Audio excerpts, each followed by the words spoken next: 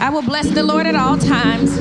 His praises shall continually be in my mouth. My soul shall make her boast unto the Lord. The humble shall hear thereof and be glad. Oh, magnify the Lord with me and let us exalt. That's cute, but I said, oh, magnify the Lord. I didn't say magnify the weekend. It's not about pastor appreciation right now. Oh, the Lord with me and let us exalt God's name together. I don't know what your Monday was like. Tuesday may have been hard. Wednesday tried to take you out, but it's Sunday morning and we're back in the house of the Lord. Oh, magnify the Lord with me. Let us exalt God's name together. It is always good to be in the house of the Lord at least one more time. And I made a vow to God that every time I go into the house of the Lord, I would praise Him like it's my last time because I have enough sense to know it could be. Oh, magnify the Lord with me. Let us exalt God's name together. I'm grateful to be with you today. I'm grateful that your pastor would trust me enough to be with you today. I won't keep you long. We'll get right to it. I believe there's a word from the Lord today. Uh, it'll come from the book of Mark, chapter 7, verses 24 through 30. And it reads like this And from there he arose and went away to the region of Tyre and Sidon. And he entered a house and did not want anyone to know, yet he could not be hidden. But immediately a woman whose little daughter had an unclean spirit heard of him and came and fell down at his feet. Now the woman was a Gentile, a Syrophoenician by birth. And she begged him to cast the demon out of her daughter. And he said her, to her, Let the children be fed first, for it is not right to take the children's bread and throw it to the dogs. But she answered him, Yes, Lord, yet even the dogs under the table eat the children's crumbs. And he said to her, For this statement you may go your way. The demon has left your daughter. And she went home and found the child lying in the bed and the demon gone. God, we love you and we bless you. We believe in you and we have great expectation of you. I ask God that you would speak to us right now in the name of Jesus. God, go through our lives and the things that we are most concerned with, God. And if you don't give us an answer today, give us peace. If you don't remove it today, God, give us a little more understanding. Your word says you will perfect those things which concern us. So, God, we give it to you, those things that keep us up late at night and wake us early in the morning, hoping that they don't turn out the way we think they may, or hoping they don't come out on the front page news. God, we know that you're able and willing to fix us, but to fix our situation. These are your servants' prayers in your son Jesus' name. Amen. If we could use the title today, What Were You Expecting? What were you expecting? I ordered a dress and I needed it to arrive on time. I was going to be away, so I asked my mother to look out for my dress to come in the mail. I needed this dress to look good, okay? I was on my way to a special gala and I needed to make sure I could take the breath out the room when I walked in. I needed it to hug in the right places. I needed to give me curves that I really did not have. I needed this dress to come in and I needed it to be amazing. My mother called me when the dress came in and she was bragging about it, talking about how beautiful it was, and she couldn't wait until I got home. I get home and I take the dress out of the box, and as soon as I look at it, my face drops with disappointment. My mother is still smiling with a huge smile on her face, just ready for me to be excited. And she looks at my face and said, What's wrong? And I said, This isn't the dress I ordered. And she said, What were you expecting? If I had given my mother the description of the dress, if I would have told her what I was looking for, if I would have told her what it should have looked like while I was away, she could have swapped the dress and got me what I needed. But because I didn't have give my mother my expectations, she thought she had what I needed and she she thought she had what I needed and she didn't. If we're honest, there are times when we've gotten we haven't gotten what we wanted or deserved because we didn't set expectations. We've treated the political process like a well-oiled machine that will run on its own, and our input and uh, without our input. And while others were presenting agendas and making demands, we assumed that Kamala knew what we needed and had our back, and we got exactly what we have asked for. Nothing.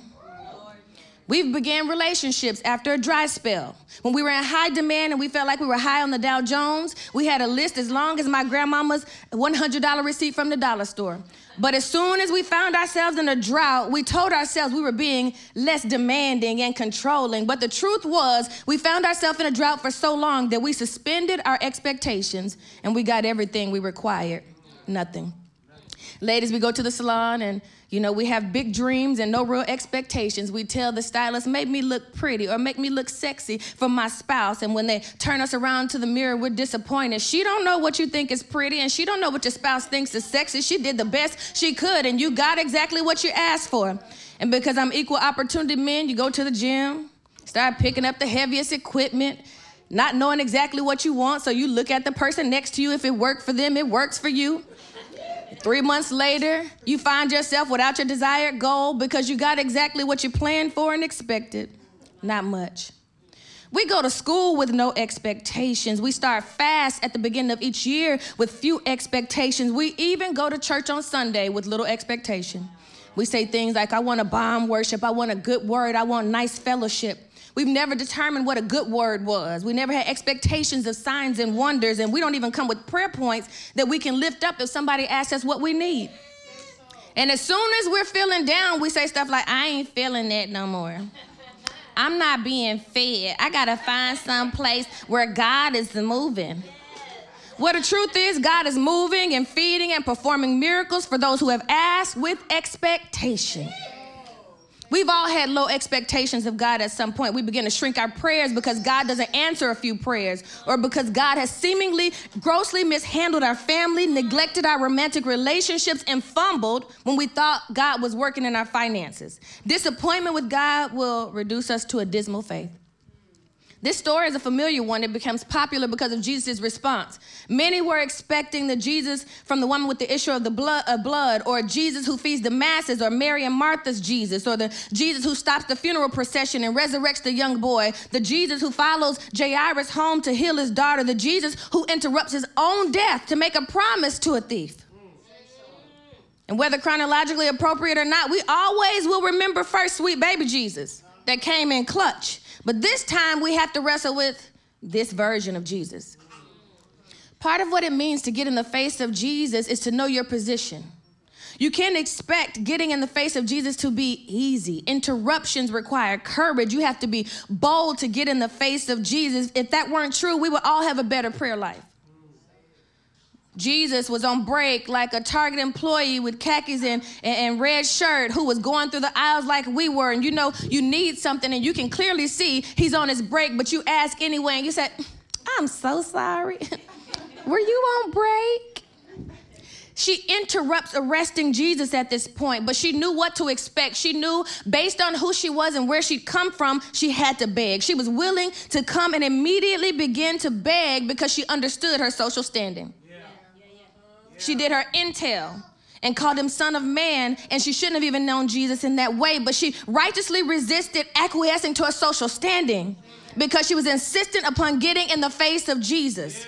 I know where I come from. I know who my people are. I know what I should ask. But in spite of that, I got a sick baby at home and I'm right here in your face.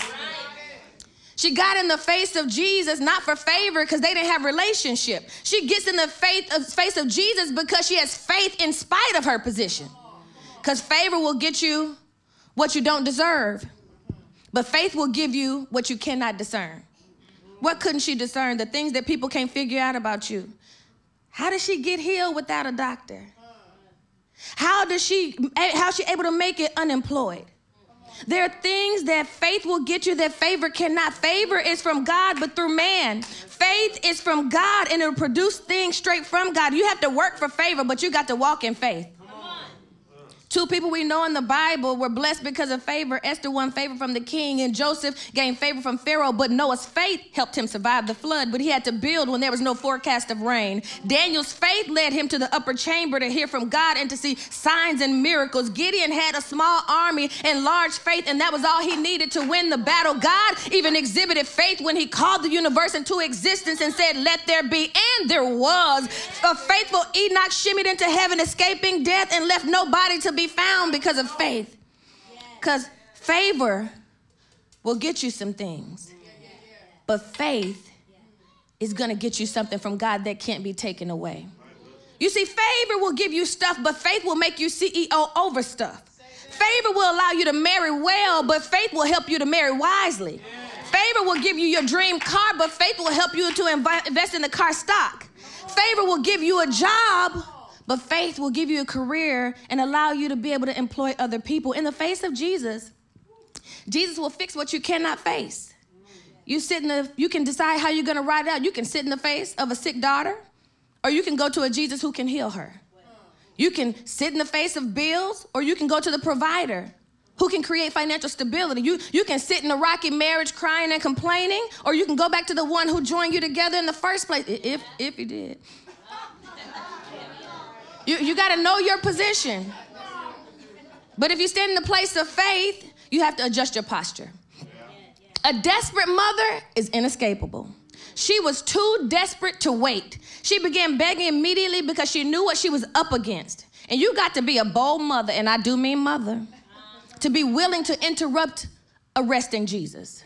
Jesus in this text was not operating as the baby born in a little old manger or the Jewish man in Roman occupied territory. This time he's acting like a man who has greater social standing, more clout, greater number of social media followers. And Jesus in this moment was a big fish in a small pond, and that's how he acted. But she was too desperate to care. He said, Let the children be fed first. It's not right to take the children's bread and throw it to the dogs. And I appreciate her in this moment because she said, A dog? Okay, I'll be that. Because desperation will call you out of caring what other people have to say about you. Because when you want something bad enough, you keep pushing past foolishness that has nothing to do with you anyway. People try to take shots at you, but you don't care because you're on a mission. If you think you're really going through and you still care about what people say, you're not desperate enough. If your child is in legal trouble and you're more worried about what your friends are going to say than the systemic racism of a system who's going to put him away for 20 to 30 when it should be 3 to 5, you're not desperate enough. If you have a teenage daughter who is pregnant and you're more worried about what church people are going to say instead of who convinced her to go from appropriate activity to adult activity, you're not desperate enough. If you have communities of color that are dying and you're more worried about black on black crime, which is actually about proximity instead of food deserts and lack of access to health care and systemically imbalanced education, you haven't been desperate enough because desperate people push past all the foolishness to get what they need. But she was too desperate to quit. Desperation will make you open to some things you don't normally want to be open to. You know, when you got a good job, you got a cute praise. But if you stay unemployed long enough, we're going to see you right here at the altar. If we find you healthy, you don't believe in all that. It don't take all that running around and hollering. But if you get a terminal report, all of a sudden we hear tongues we ain't never heard from you before. You're good when your child is on honor roll, but when they're on opioids, you're laying prostrate at the altar. Because desperation will make you open to things you've never been open to before. Expectation comes from trials or testimonies. She heard that Jesus was coming through providing. It didn't matter what he said to her because she had the experience or the testimony of others that said Jesus could provide. So she decided, I don't care what's happening now, a provider got to provide. I don't care if I'm in need of healing. I don't care if I'm in need of peace. I don't care if I'm in need of employment or fertility. All I knew was that provision was before me. She's not talking about just food here. All she knows is that provision is in the space talking about providing food for the children and the hierarchy of receiving provision. But all she hears is, you provide. There may be a pecking order, but what I'm clear about now that I was not clear before I saw you, Jesus, is that the rumors are true and you have the ability to provide. She says to him, Okay, if it's a dog that I gotta be, I'm gonna be that. But I think if Jesus is gonna call her dog, she had to have some dog sense. So I looked up what it meant to be a dog in this day. Uh, you would be a scavenger. Uh, the, this text says that it was a little dog, but they were scavengers nonetheless. They weren't having house pets. They don't do like we do Chanel, Dior, Lexus, Mercedes. They, they're not doing that. So she had some dog sense. So I looked up what it meant to be a dog. Scavengers are always hungry. And I say that you should always be hungry, always stay desperate for God. Scavengers have to fight for what they want. So you got to come begging and refuse to leave empty handed. And scavengers roll in packs. So when you go to God, you ought to know that there's a community who's praying with you and for you. But a dog with a home has different expectations than a scavenger. She did not call him what she should have. She said, Son of Man or Lord. That means she's putting responsibility for her care upon him. That means she's putting herself in relationship with him whether he wants it or not. So a dog with a home assumes a different posture. If you belong to the Savior and you're being kept by the Savior, you ought to have the expectation expectations of the Savior. So much so that when it seems like your prayer has been rejected, you don't give up on a Savior, but you lean in with your faith. I appreciate the fact that she didn't care about him calling her a dog, but but a dog with a home has different kind of expectations of their of their owner. You see, I have a dog, Tanner. Oh, I don't anymore. He died. He died in April, but Tanner got to live with us for five years. I bought Tanner because I was always traveling and I thought my mom needed a companion. So I went to get this dog for my mother. I had to travel to go and get him. I had to pay a price for him because Yorkies are expensive. I saved him because he was also in adoption and I took responsibility for him. That meant when he had to go to the doctor, I did pay the $2,000 for him to be well. That means every time he needed food, I was willing to go and buy the best brand so he wouldn't be hungry. That means even if times got tough, I was going to make sure we both had a roof over our head because if I was going to be sheltered, he would be too. Tanner had expectations of his master. He believed that because I was eating, he was going to eat. He believed that as long as I was taking care of myself, he was going to be taken care of. Well, I also know somebody else that is in this text who has a similar story. Jesus came for his daddy. He left and traveled from heaven to come to earth. He paid a price for you and me. He saved us by adopting us into his life. He took responsibility for us. He promises by his stripes we're healed. He promises that if he could take care of the lilies of the valley and the birds of the air who neither reap or sow, then we were going to be okay too. He tells us weeping may endure for a night, but joy will come in the morning. And if you look back over your life, you will see that God has kept God's promise to you and taken care of you. But there was this little trick. There was this little trick that, that Tanner would do. I had I hadn't had a dog since I was a child, and and, and when he first got there, he, he was a little bougie. You know, he didn't really talk to us. He sat by the cage. We would have to bring the food. If we put the food too far away from him, he wouldn't even go to it like I was his servant. And then when he became more comfortable, I noticed something. If we were in the kitchen and Tanner heard pots and pans moving, he would immediately go from wherever he was and he would go sit under the table. So Tanner would stay under the table. He wouldn't bother anybody. Don't forget, I'm in the kitchen. He's in a dining room under the table because he knows where we're going to be prepared to eat. So he goes under the table, and then we would get the food and bring it to the dining room table, and we would ignore him because there's only gonna be two chubby people in my house. It's not gonna be me. I mean, only one. It's not gonna be me and him. It's gonna be me. Tanner had an eating schedule, but every time there was food, Tanner wanted what I had. I would go to the table and start eating, and, and Tanner would be irritated, and he would think I didn't see him. So he would go from laying under the table to getting on his hind legs with his hands up because I don't feed dogs and whatever I eat, I don't think he should have. I would ignore Tanner. And Tanner decided he couldn't be ignored because he believed that his master would take care of him. And as long as his master was eating, he should eat too. So when I wouldn't pay attention from Tanner, he went from going laying down under the table to standing on his hind legs. And if I wouldn't pay attention, he would jump. And he would jump waiting for me to pay attention to him. Well, if I didn't do that, Tanner did not give up. He never wanted to make sure he was being too aggressive. So he would do this little call and he would say,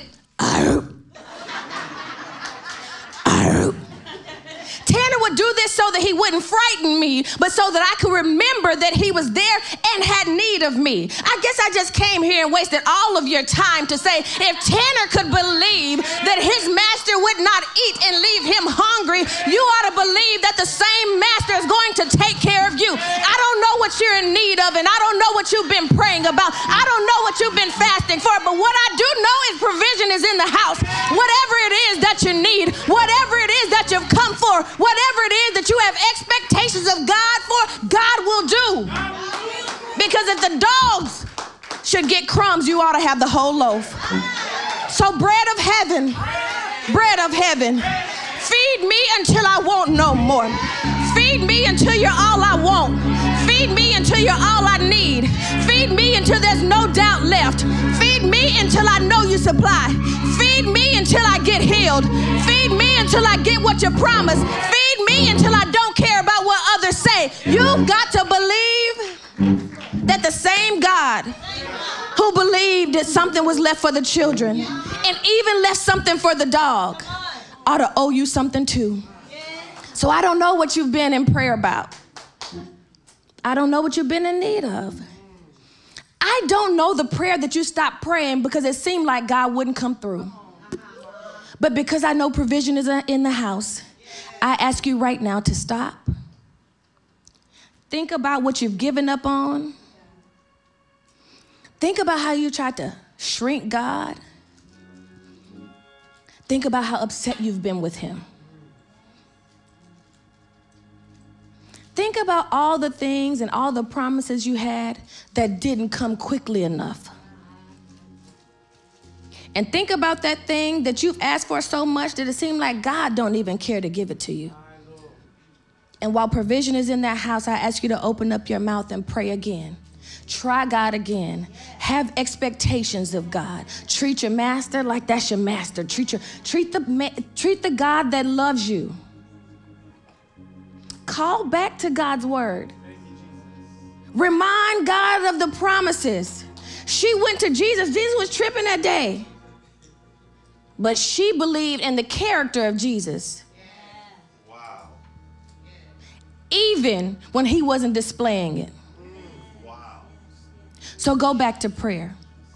You are not a man that you should lie, nor the son of man that you should change your mind, not, nor a city girl that you might try to trick me. You got to go back to God. This ain't about me and my faithfulness and my fidelity. This is about you, your promises, your character. So, whatever it is, I ask you in this moment, we're to stop and spend some time praying together. Tell God what you need. Provision is in the house. Don't leave out of here empty. Because I pray that whatever it is you've been praying about meets you back at home. I pray that whatever it is that you've been praying about, you have the answer to while you're on your way. There is provision in the house. God, in the name of Jesus, we come to you with great expectation, God. We understand that we have feeble minds compared to the big dreams and visions you have for us. God, some of us just have basic needs that we're asking you to supply.